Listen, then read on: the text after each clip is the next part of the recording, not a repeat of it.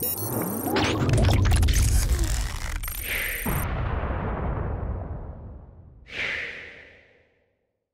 everybody, JJ Johnson, watching Reality Survival. Just out doing a little hiking today.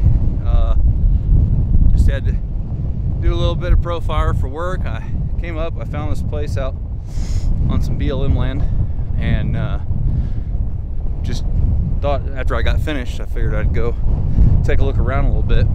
So, I hadn't been out here before. So that's what I'm doing.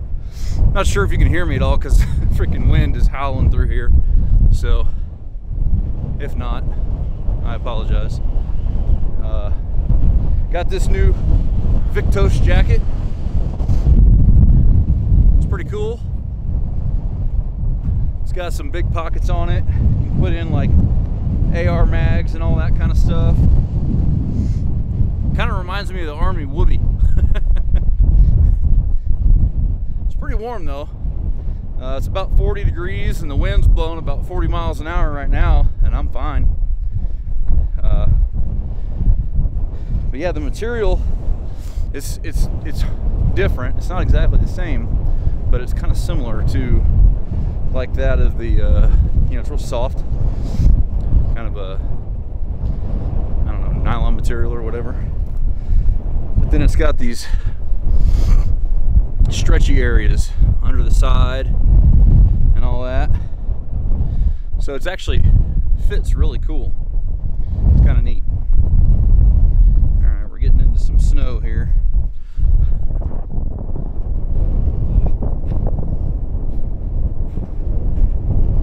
That's where we're headed over there. Just want to check out check out that little vista up there. All right, we're off the snow.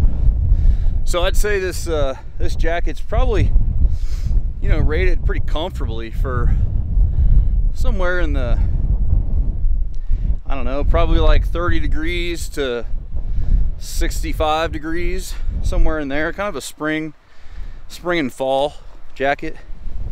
I mean it's February right now but it's a nice day you know it's, it's warmed up a little bit. So that's kind of where I would probably probably rate it. It does a pretty good job of cutting the wind. And it's got a bunch of pockets. I'll show you those when I get up here. Okay guys, so we finally got up over the ridge and I'll show you the view here in a second if my battery lasts. Uh, I just wanted to kind of show you this jacket real quick. They call it the Zero Dark Insulated Jacket. Again, it's from Viktos and uh, I will put a, this is the back side of it, and see, it's kind of a quilted, kind of like a quilted uh, thing. Like I said, just reminds me of the of the army, uh, the army woobie. but anyway, it's got got a cool uh, unconquered little uh, "Don't Tread on Me" logo on the inside. We got some big inside pockets right here on each side. We got a smaller like cell phone pocket. Then on the sides, you've got zippers on each side right where your firearm would be if you carry uh, you know on your back what is it uh, your hip basically. And you know you can peel that back so you can get instant access. It's got ventilations in the pits. And the, the zippers go both ways actually. You can do up or down. Uh, let's see here. We've got like I said these big pockets I mean, they're huge.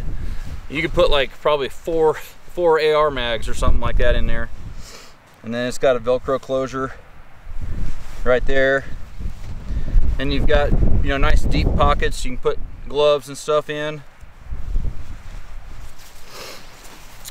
It's got a uh, got a pull tie for the uh, the collar, so you can tighten that up around your neck if you wanted to. I think it's even got a hood in here. I haven't, haven't even used the hood yet. Yeah, it's just got a real lightweight, you know, kind of like rain hood or whatever. Um, fits pretty good. Uh, I wear a 2X. I'm six foot, 250 pounds, and seems to fit me okay. Uh, I'd say the one thing is, is the arms might be, the sleeves might be just a touch long for me but not bad.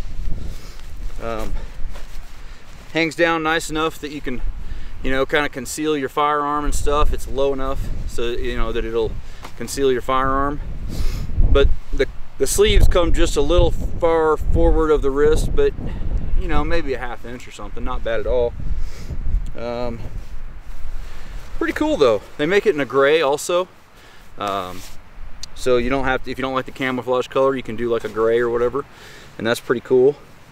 But yeah, it's pretty good, man, because you get the, the warmth of the insulation and stuff on the, you know, the outsides and then like on the insides where your arm are and stuff and you need that flexibility so it doesn't bunch up and whatnot, then uh, that's kind of how it's designed. So pretty cool, man. Go check out uh, viktosgear.com. I've got one more jacket that I'm going to do on another review uh, coming here pretty quick. It's called the Sirius jacket, and it's kind of like a like a shell almost. You know, you could probably wear it over the top of this one as like a layering system. It'd be kind of cool. But anyway, guys, I'm gonna go ahead and wrap it up. Hopefully you'll be able to hear me. the wind is terrible today. It's seriously like a 40 mile an hour wind. Uh, as always, I definitely appreciate it when you click the thumbs up button, when you share it with your friends on Facebook, Twitter, and Google+. And don't forget to live the six P's. Proper prior preparation prevents poor performance. Hey, and go by and check out, the link will be in the description below to uh, check out Viktos. Uh, like I said, they got a full line of outdoor gear.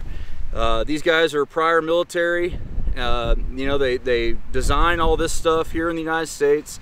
It's made overseas, but they are, you know, like I said, they're veterans. They're trying to get it, break into the industry, and they got a, a, lot of different cool clothes with a lot of cool features for people who like to shoot and hunt and be outdoors and all that kind of stuff. So, um, you know, go go check them out. You might you might like it. I mean, it's it's pretty cool stuff. So, thanks again. I'll show you the view here real quick. All right, there's another mountain over there. I think they call that Red Mountain or something like that. It's got a pretty cool, pretty cool little vein runs through it. Kind of neat.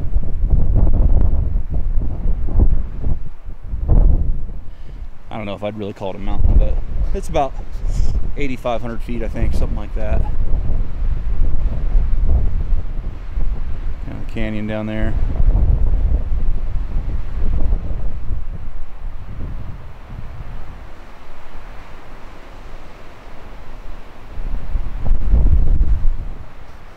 And there's that rock face we just came to the other side of.